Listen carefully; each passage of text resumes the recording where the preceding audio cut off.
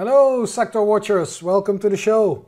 This is the 127th episode of Sector Spotlight for um, Tuesday, the 17th of May, recording it on Monday, the 16th. My name is Julius de Kempenaer and I am presenting to you from Amsterdam in the Netherlands. You can find my contact details on the screen in case you would like to share any of your comments, have questions, etc. etc. Please use any of the handles on the screen. For this week, we will have a quick look at very briefly at asset classes and then a little bit more extensive on sectors. We're going to look at a sector that is potentially starting to become interesting from a buying perspective. It's been a long time since we've done that. And then we'll spend a good chunk of time explaining the use of the dollar one benchmark as, a, as the benchmark for RRGs following the discussion uh, on an article that I wrote. So no time to lose. Ladies and gentlemen, this is Sector Spotlight.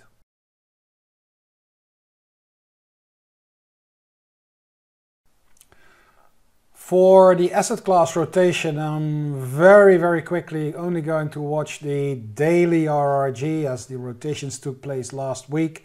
And we can see that especially the S&P 500 stocks and real estate ended up inside the lagging quadrant following a, uh, a weak performance and that the cluster of fixed income ETFs ended up inside the leading quadrant. We've got the commodities, DJP and GSG still going through a corrective phase and a very strong role is still there for the US dollar.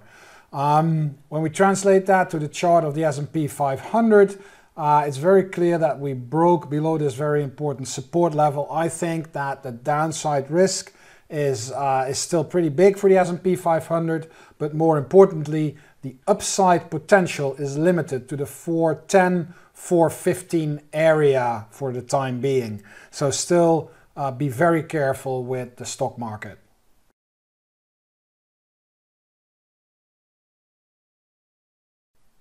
For the sectors, we had a very in-depth look at all rotations last week. So I'm going to try to speed it up a little bit um, for this week. On the left-hand side, we have the weekly relative rotation graph, and on the right-hand side, we have the daily version. Now, on the weekly version, the story remains pretty much the same. Energy Still very strong, going through a corrective phase. All defensive sectors, utilities, staples, healthcare, inside the leading quadrant, meaning that they are in a relative uptrend. Staples very strong, utilities and healthcare going through a little bit of a break. Uh, materials is hidden behind those in, in that cluster, so it's right here, very short tail, very stable, um, but relative uptrend versus the S&P 500. Industrials, real estate are rolling over.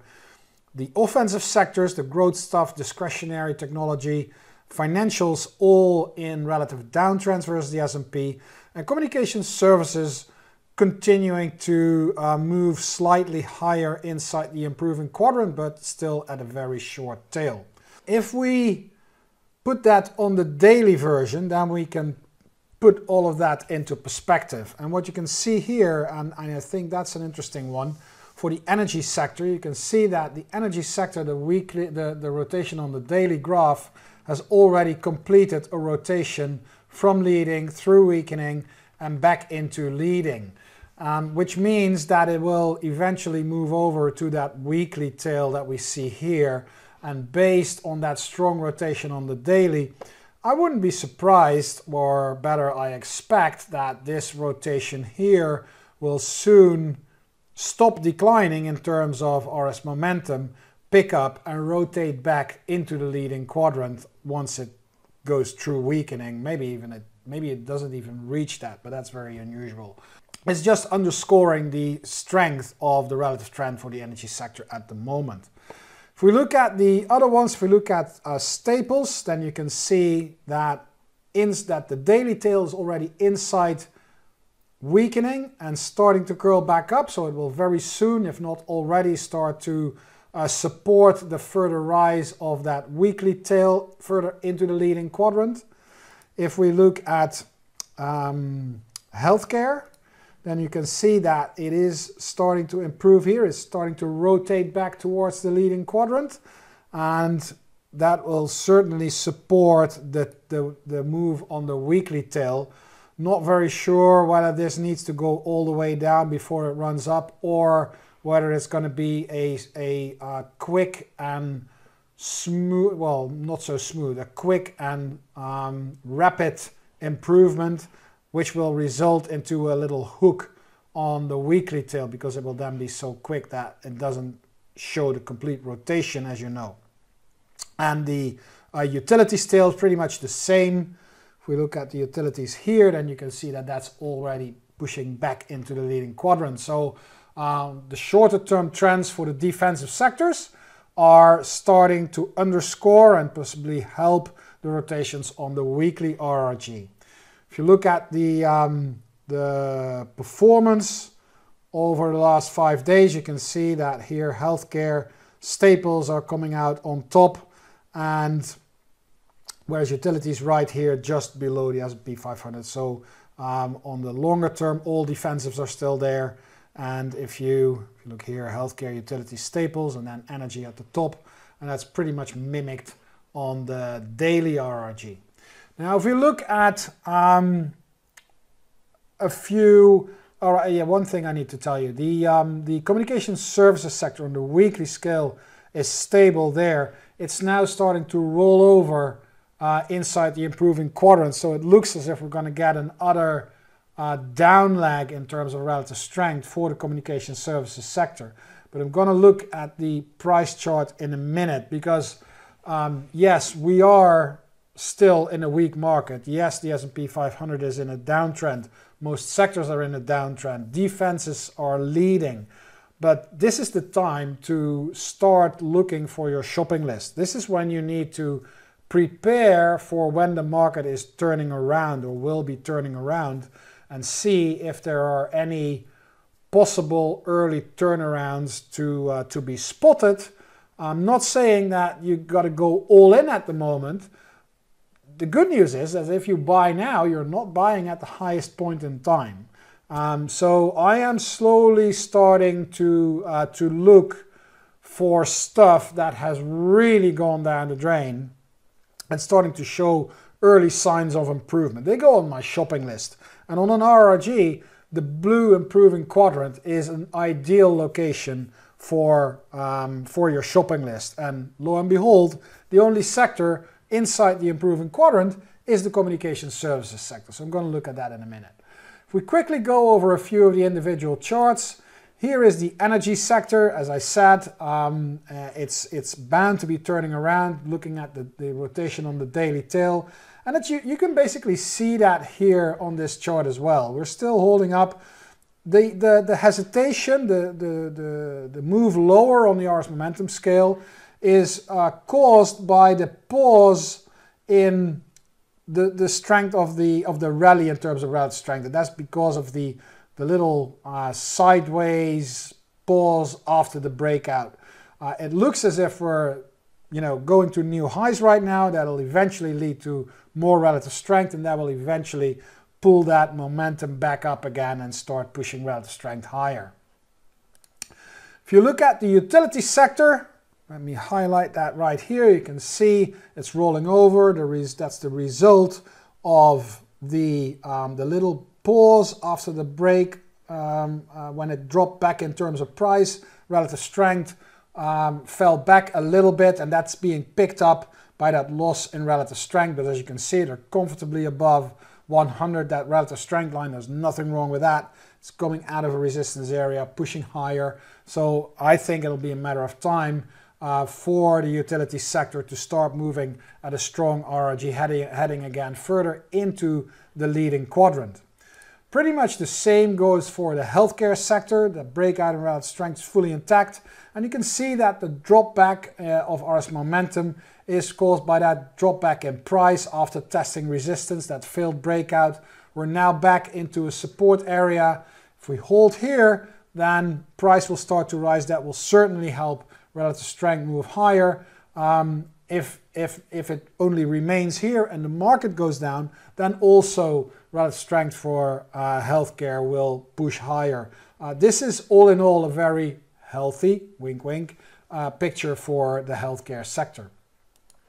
Staples, if we look at staples, then we see a very nice, very nice, very stable uptrend, both in price and in terms of relative strength. This is one of the stronger tails at the moment, pushing higher, and it has just tested the lower, uh, the lower boundary of that rising trend channel. So all ingredients are there for a further rally in the staple sector. Uh, materials, quite the same, although at a lower pace, but it is a sector to, um, to definitely look at from a, a, positive perspective in terms of relative strength. We're testing the lower boundary. As long as that holds, that relative strength trend uh, remains intact.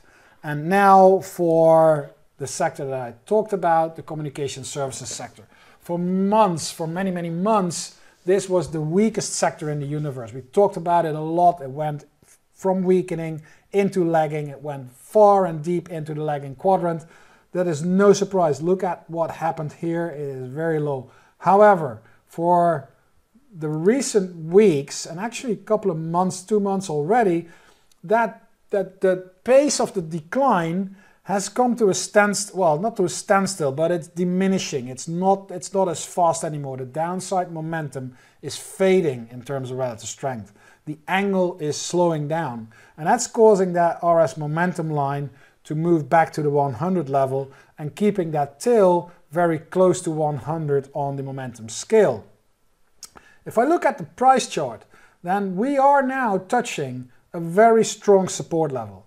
Uh, level around 56, um, that area is a very strong support level in terms of price. Uh, and you know, at some stage you gotta you gotta start looking for buying opportunities, and a, a strong support level is definitely a good place to look for um, for buying opportunities. Now, when I was annotating my charts and going over my charts this afternoon, I noticed uh, something. I'm not a big user of, of Fibonacci, of retracements. But I looked at this move here and I thought, hey, what would that be in terms of a Fibonacci retracement? And when I when I brought that up, that was quite interesting because if I pull the Fibonacci retracements right here, look at this. That is bang on 61.8% uh, Fibonacci retracement. Now, I'm not a big user of it. I'm ver very much not an expert, but this one lines up very nicely. And it's not only the 61.8 retracement, it's also a very strong support level. So yes, it's still in a relative downtrend. Yes, it's at very low levels, but I'm starting to develop a little interest for the communication services sector um, just because we are resting at support levels. Of course, when we, when we significantly drop below 56, 55, all bets are off and it is going further down. But for the time being, um, this is a this is a very early call, and I'm just watching, putting this on my watch list for potentially interesting um, individual stocks or maybe the ETF as a sector for when things start to turn for the better.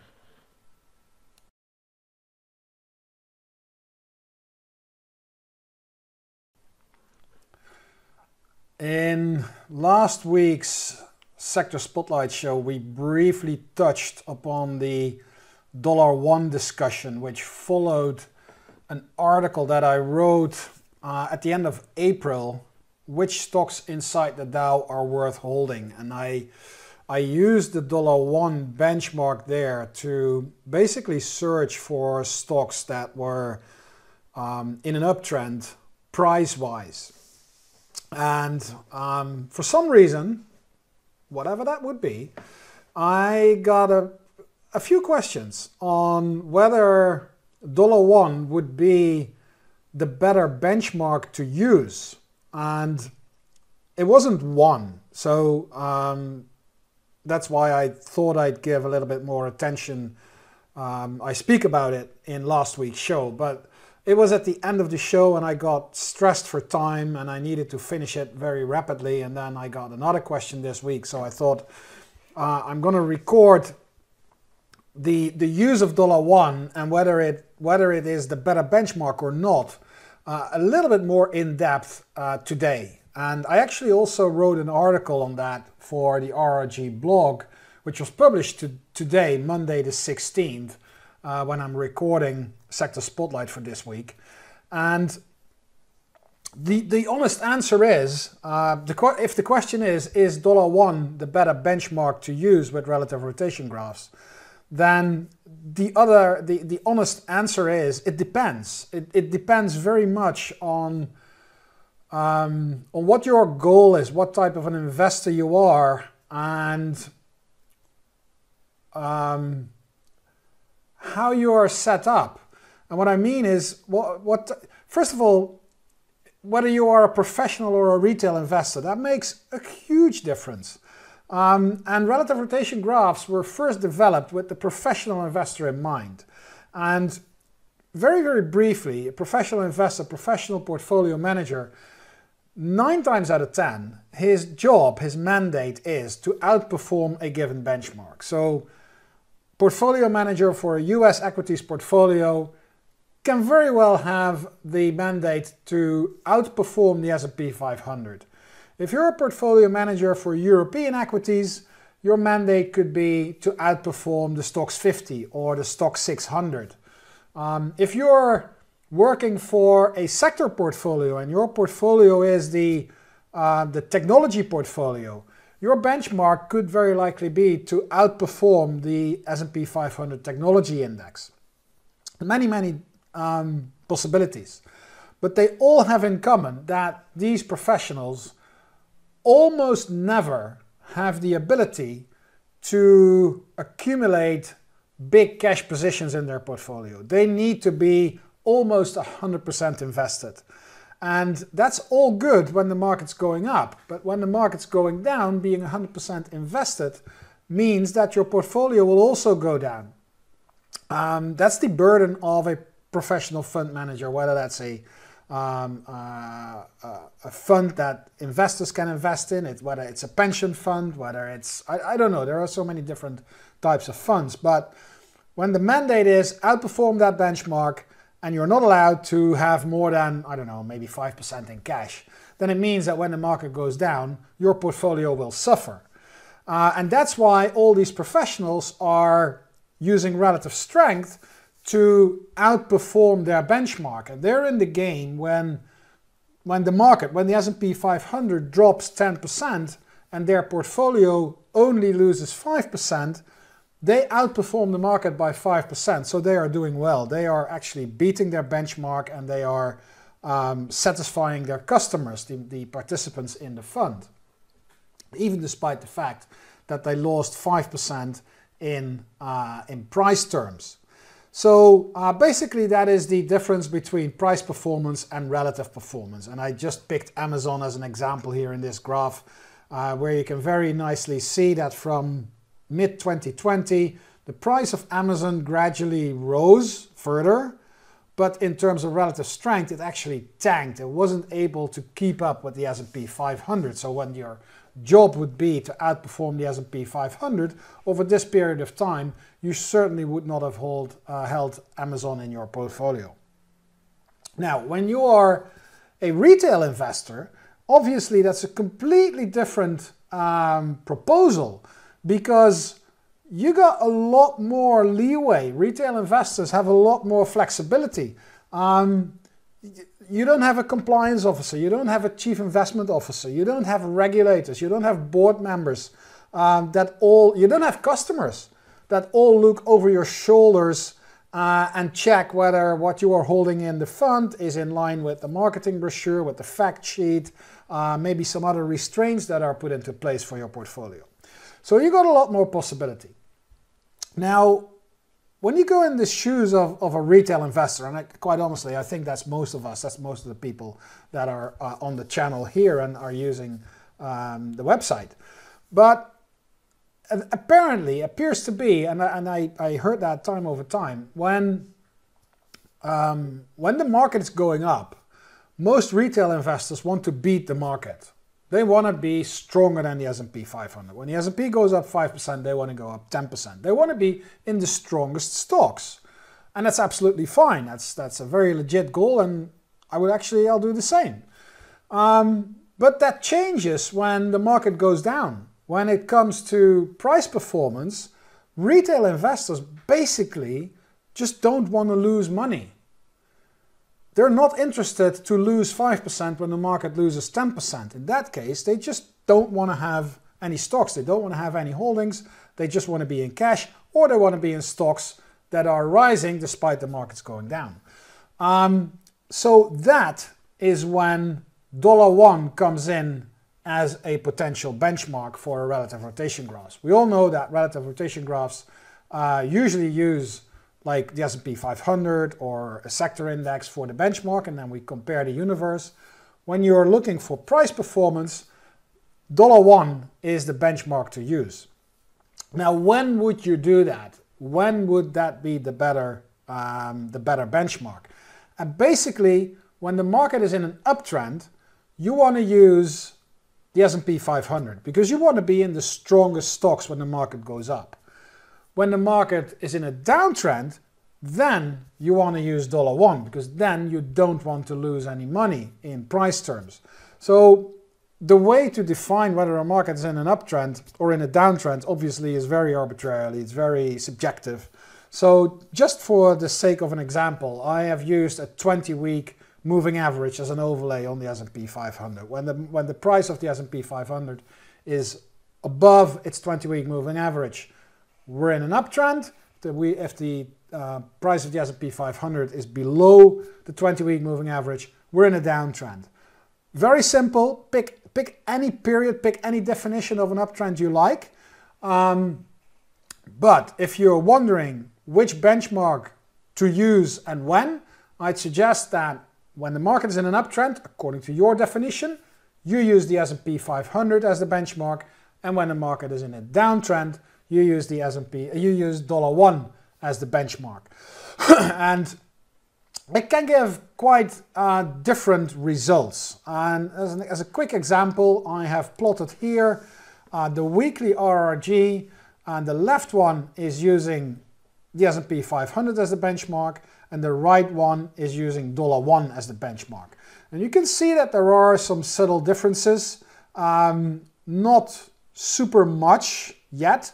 I mean, communication services is inside improving uh, and picking up a little bit.